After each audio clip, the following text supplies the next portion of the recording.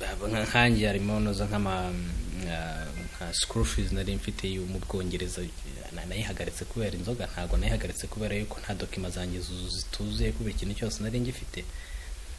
Uyu ni umwe mu bagizweho ingaruka n'ibiyobyabwenge wemeza ko muri rusange uwabaye imbata yabyo hari amahirwe menshi atakaza mu buzima. Hari amahirwe yo kutagira ibyishimo n'umunezero umuntu asanganywe mu muryango aba yaravutsemo cyangwa se muri sosiyete uburimo. Hari uburyo bwo kwirirwa utakaza umwanya uri mu bitaro utakaza amafaranga umubiri ubabara. Umwanya munini iyo uwutakaza mu nzoga ntabwo wagombye gukora ibindi. Jean bosco nzeyimana umuforomo mu ishami ryita by'umwihariko ku bagizweho ingaruka n'ibiyobyabwenge mu bitaro bya karayesi ndera asobanura ko izi ngaruka ziterwa n'uko ibiyobyabwenge biba byarangije umuntu mu bice byose by'ubuzima bwe. Bitewe n'ikiyobyabwenge umuntu afata n'ubukana bwacyo kimwangiza ku kigero runaka. Natanga nk'urugero hari indwara z'imitima za kanseri z'amara za kanseri z'imihogo harimo n'indwara nyinshi zitandukanye zidakira. Ndetse kugeza n'aho umuntu ashobora kuba ingumba cyangwa se ntabyare. Nubwo ingaruka ari nyinshi bwose ariko usanga umubare w'abakoresha ibiyobyabwenge ukiri hejuru.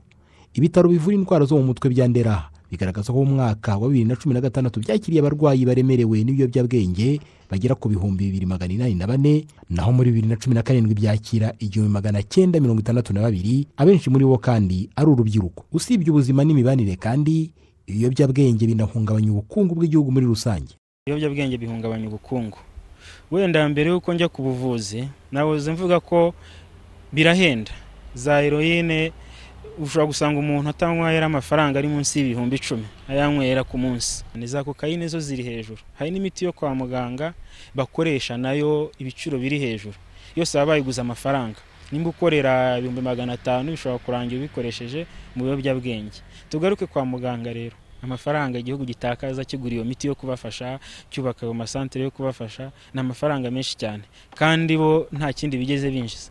Indi ngaruka y'ibiyobyabwenge ni ukuba intandaro y'ibindi byaha byinshi binahungabanya umutekano.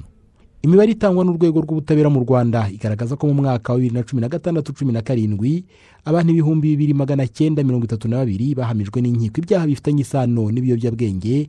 Naho mu mwaka wa bibiri na cumi na karindwi cumi n'umunani umubare warazamutse ugera ku bantu ibihumbi bitatu magana ane na cumi n'umunani.